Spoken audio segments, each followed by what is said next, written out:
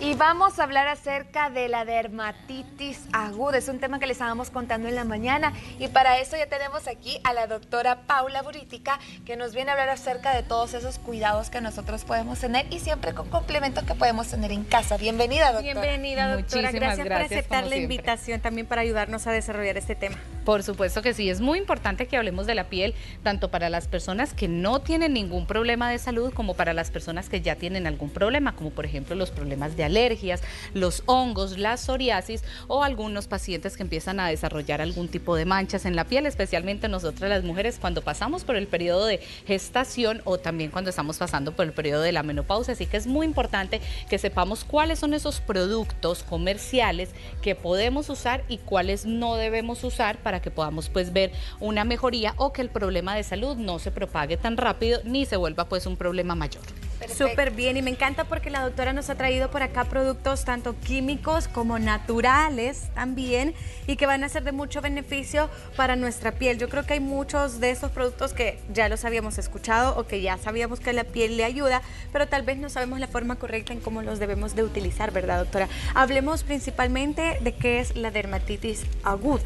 Bueno, se llama dermatitis a los problemas en la piel como lo son las alergias. Eh, por ejemplo, podemos hablar de que hay algunas llagas o algunas heridas que después se nos convierte en eh, hongos o que se nos convierten en una mancha y esa mancha ya se vuelve reseca, empezamos a escamar o empieza a haber algún tipo de alergia y cuando menos pensamos pues ya está grande la alergia. Entonces llamamos dermatitis agudas a los problemas de la piel que nos generen algún tipo de alergia. Por ejemplo, podemos ser personas completamente sanas, pero una picadura de algún animalito por ahí se nos puede infectar y se nos puede convertir en una dermatitis. Los problemas de acné, barros y espinillas cuando se infectan también se convierten en una dermatitis y lo mismo pasa con los hongos en los pies, que a veces son pasajeros, pero otras veces se convierten en un problema de dermatitis, que ya es una enfermedad en la piel. Hay que tener muy en cuenta que las enfermedades preexistentes como la diabetes, el hígado graso o el descontrol hormonal, pues nos causan problemas en la piel. Hay muchos pacientes diabéticos que se identifican que tienen alguna herida y cuesta que sanen, cuesta que cicatricen o que ese proceso pues llegue muchísimo más rápido, entonces se vuelve un problema muchísimo mayor. Hay también enfermedades en la piel que vienen a, te- a tener mucha relación y creo que ustedes me van a apoyar con la parte mental o psicológica.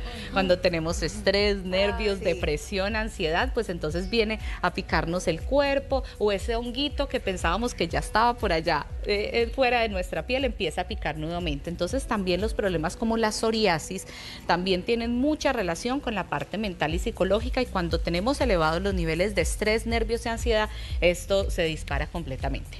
¿Y cuándo deja de ser, eh, perdón, cuándo deja de ser aguda? O sea, hay diferentes tipos de, de dermatitis. Claro, hay dermatitis inicial, hay dermatitis crónica y dermatitis aguda. Y esto ya se vuelve cuando ya nos enfermamos enfrentamos a otros problemas de salud, como son la psoriasis, por ejemplo, o cuando es una herida que ya está mu- muy, con mucha infección y se nos vuelve una cangrena. Hablamos de que la dermatitis se puede controlar en la etapa inicial en una persona completamente saludable sin ningún problema, con tratamientos naturales. Pero las personas que tienen diabetes, que tienen psoriasis o que tienen alguna otra enfermedad preexistente, ya va a ser un poquito más difícil eh, tratar ese problema de salud porque no nos estamos enfrentando a un problema de la piel, sino ya a un problema interno. Y podemos prevenirla, porque en muchas ocasiones ya sabemos que tenemos piel delicada, ¿verdad? Sí. Entonces podemos utilizar tal vez ciertos métodos para poder prevenirla y no pasar a esa etapa en la que pues ya se nota demasiado, Exacto. ¿verdad? Y ya nos incomoda mucho, porque estamos viendo, ¿verdad? Que hay elementos que son naturales, que podemos tener en casita y que tal vez no sabíamos que era beneficioso para la piel y, y dicen, yo no me pongo perfume porque me irrita, yo no me Exacto. pongo crema porque me irrita, entonces yo quiero oler rico, pero no puedo porque todos estos productos Sí. siempre me irritan la piel. Bueno, yo creo que lo más importante y el paso uno, número uno es conocernos a nosotros mismos. Hay muchas personas que tienen diferentes tipos de piel, entonces tienen piel grasa, tienen piel seca, entonces ya nosotros mismos nos conocemos. Sí. También sabemos cuáles son las alergias que nos perjudican o que nos hacen daño. Y voy mucha relación con las cadenitas, los aretes que a veces Sí. nos dan algún tipo de alergia y todo lo que podemos usar como las cremas de manos o las lociones. Entonces hay que tener muy identificado a qué somos alérgicos y conocer el tipo tipo de piel. Número dos, el consumo de agua pura. Esto mantiene hidratada la piel, entonces no va a haber necesidad de pronto de una crema de manos, aunque es recomendable también lo que es el protector solar, pero si consumimos suficiente agua pura y tenemos una buena desintoxicación en el cuerpo, por supuesto que vamos a tener una piel saludable. Y pues número tres, y creo que esto lo voy a recomendar muchísimo, es el protector solar. Frío, calor, lo que esté haciendo, protector solar siempre en las manitos y en nuestro rostro. Definitivamente yo creo que el protector solar es algo que a veces se deja de lado, ¿verdad? Yo me acuerdo mucho que una vez mi, doctor me dijo, hay que utilizar protector eh, solar porque incluso la pantalla de, tu celular también te puede irritar la piel del rostro. Y yo me quedé como, desde ese día siempre me pongo protector solar. Cualquiera, aunque estemos dentro de la casa, ¿verdad? Las luces pues también nos pueden afectar la computadora.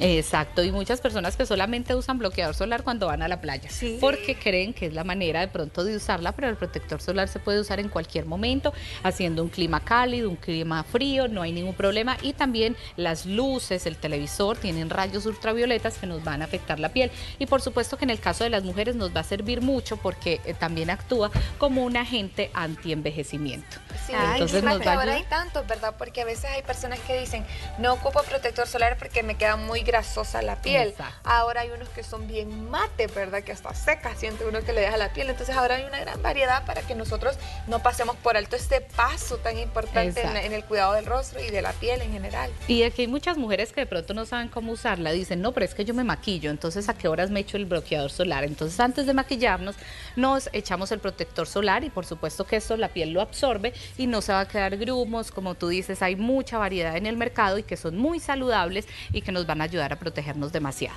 Hablemos acerca de la prevención, doctora, de, llegar a tener una dermatitis y de personas que quizás en estos momentos lo están enfrentando o me gusta que habla mucho acerca de, la psoriasis también porque es una enfermedad que muy pocos a veces conocen y que se, que se ha ido como eh, eh, ha ido creciendo, me he dado cuenta. Tengo la oportunidad de conocer a unas tres personas, por lo menos en mi entorno, que padecen de esto y, es algo increíble porque es por estrés muchas veces. ¿Cómo se pueden tratar estas enfermedades con estos productos? Bueno, en la mayoría de los casos, eh, hablo como especialista y definitivamente la psoriasis en un 90% puede ser un problema de estrés, nervios o ansiedad. Entonces, no quiere decir que si la persona no tenga estrés no va a tener psoriasis porque por supuesto se conviene con una enfermedad en la piel, pero por supuesto que hay mucha gente que lo sufre, que lo padece y que probablemente no es en todo el cuerpo, sino que hay algunas zonas específicas que a vista no, no, los vemos, no los identificamos, pero eso, el problema de salud es bastante grave. A los problemas eh, de psoriasis o a los pacientes que ya tienen enfermedades en la piel, no, se, no se les recomienda usar ciertos productos del mercado y que son muy comerciales, pero esto va a impedir que la persona pueda sanar mucho más rápido o por supuesto va a crear un foco de infección. Cuando las heridas o los raspones o las picaduras o cualquier honguito que tengamos se mantiene húmedo, ahí va a haber una infección muy pronto. Entonces lo que recomendamos es que siempre las heridas o los problemas de salud en la piel estén secos. ¿Para qué? Para que podamos ver una mejoría muchísimo más rápido. Eh, esto nos va a evitar también que haya picazón y que hayan algunos problemas como sacarnos herida al momento de rascarnos la piel. ¿sí? Entonces vamos con el, el producto prohibido número uno y voy a ir con las cremas de manos. Los prohibidos. Los prohibidos. Las cremas de manos están completamente prohibidas para aquellas personas que tienen enfermedades en la piel.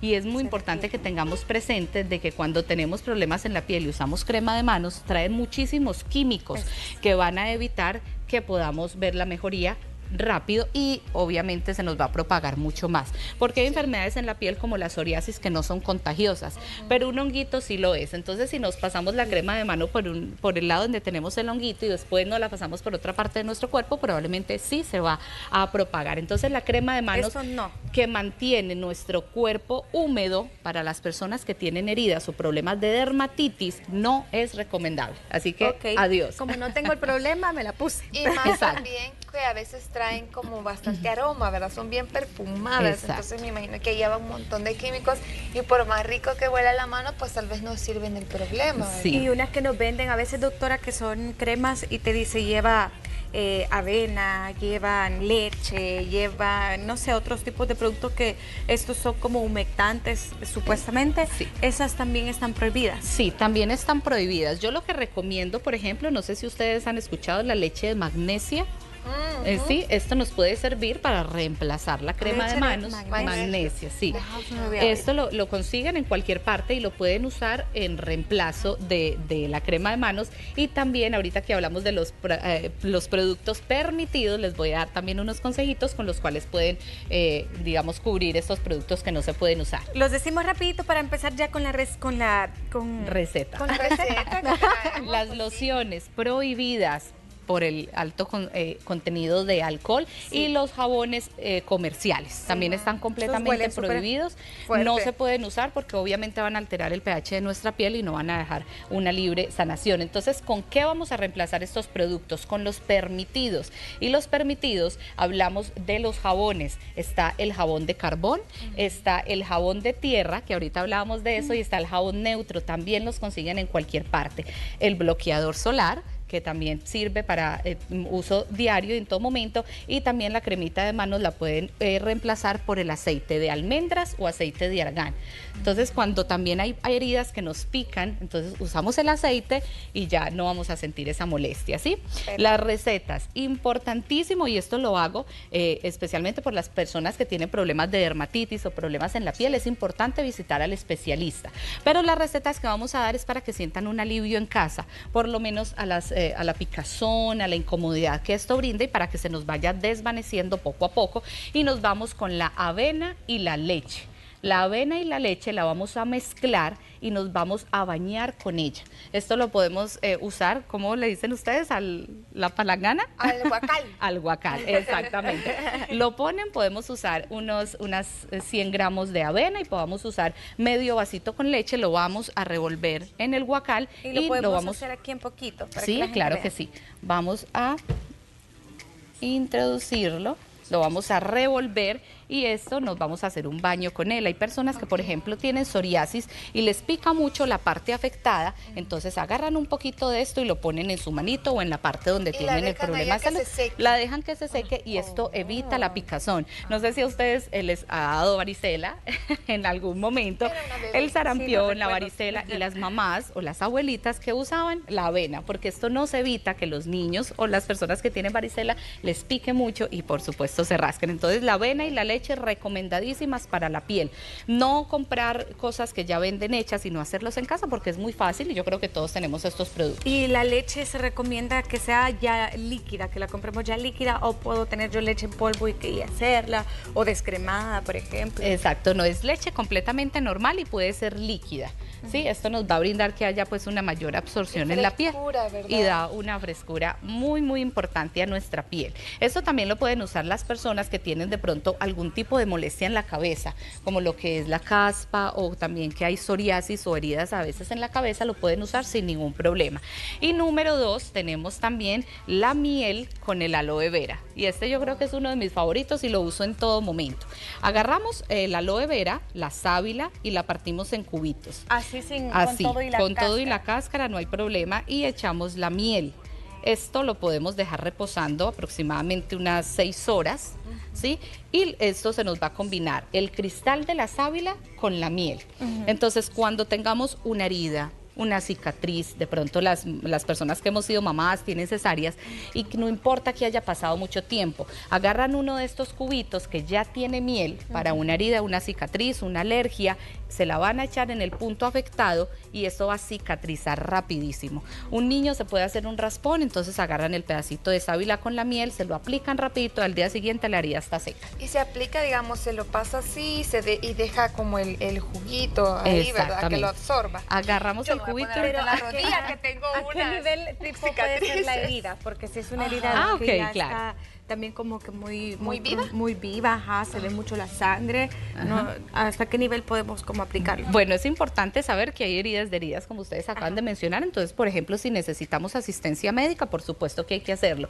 La combinación de la sábila con la miel es que la miel es cicatrizante. Entonces, por ejemplo, la herida puede ser un poquito profunda, pero es un raspón. La podemos combinar con la sábila y ella va a cicatrizar rapidito. Por eso te digo que al día siguiente el niño ya tiene, por decirlo, la persona ya tiene la herida seca. Entonces, si necesitamos asistencia médica, por ejemplo, de puntos, lógicamente que vamos a asistir al médico, pero si no, lo podemos utilizar y muy recomendado en las personas que tienen manchas en la piel, que quieren curar una cicatriz, esta cicatriz se me ve un poquito fea, empiezo a usar esto todos los días, en la mañana y en la noche, y no va a haber ningún problema. Se pueden, eh, digamos, salir al sol, eh, no tiene ningún problema. Aunque la cicatriz ya esté algo viejita. Sí, aunque la cicatriz esté viejita, si agarramos la costumbre.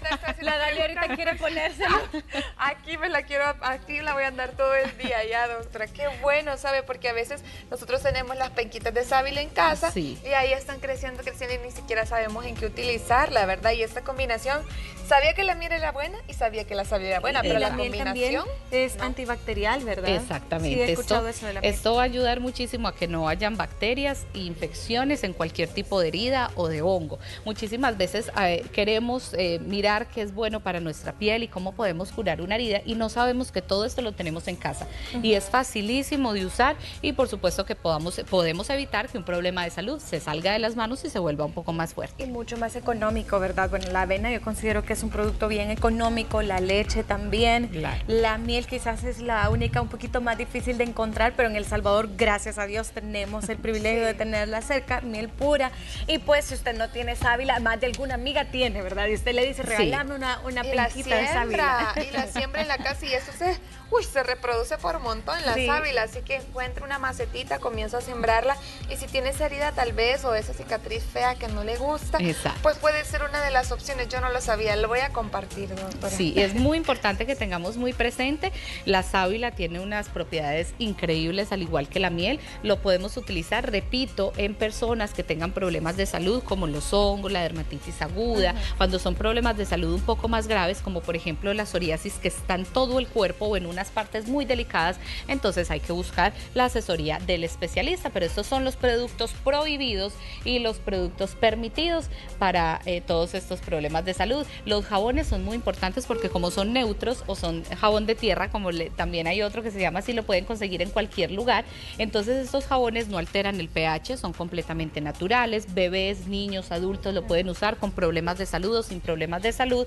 Y el aceite de argán o el aceite de almendras porque nos va a servir para hidratar la piel para las personas que no puedan usar crema de manos y también nos va a ayudar para que las heridas o los problemas de salud no generen tanta picazón. Yo creería de que eh, para entender los, eh, los prohibidos, podemos decir que mientras más color tiene, puede ser del, del, prohibido, ¿verdad? Porque cuando se nos pone algo con mucho color, porque huele rico, que es bien rojo y a fresita y así, eso nos puede hacer daño. Y los jabones cuando los vemos que son así de intensos, y yo soy una, mi mamá también lo heredé de ella, que los jabones así con, con colores muy intensos o un aroma muy fuerte nos generan eh, reacción alérgica, en la piel. Entonces, cabal, yo digo, veo aquí y aquí está todo el color en lo prohibido. y se viene para acá, que es lo permitido, está como neutro, como los colores los tierra. Colores, colores tierra. Ah, colores que son más naturales, tal vez son de elementos que son bien. Incluso a los emprendedores a veces se les puede comprar, ¿verdad, doctora?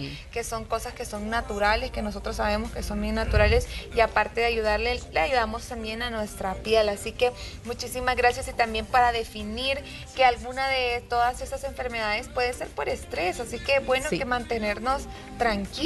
Exacto, y en cualquier etapa de nuestra vida puede ser una reacción alérgica, algo que nos deja una enfermedad, o puede ser de pronto el estrés, los nervios, la ansiedad, hígado graso, triglicéridos y colesterol elevado, los pacientes diabéticos que en cualquier momento de la vida, niños, jóvenes y adultos, pueden desarrollar una enfermedad en la piel. Así que mucho ojo con la piel, es el órgano más grande de nuestro cuerpo y hay que cuidarlo porque es el que está más expuesto. Doctora, muchísimas gracias por estos buenos consejos, ya lo vio, prohibidos y estos sí permitido. voy a Mucho color prohibido. Colores neutros se permite. Y ya vio, avena con leche o sábila con miel para que usted pueda cuidarse también su piel. Tenemos los contactos en pantalla de la doctora Paula Burítica para que usted también pueda buscarla, pueda asesorarse y si tiene algún tipo de dermatitis, pues también pedir esa ayuda que tanto se necesita. Muchas gracias, doctora. A ustedes por la invitación, muchísimas gracias. Muchas gracias. Ponga en práctica, de verdad, todo lo que le estamos diciendo para que le funcione. Con eso nosotros nos vamos a ir a una pequeña pausa, pero ya regresamos. Me la voy a Yo me lo quiero comer.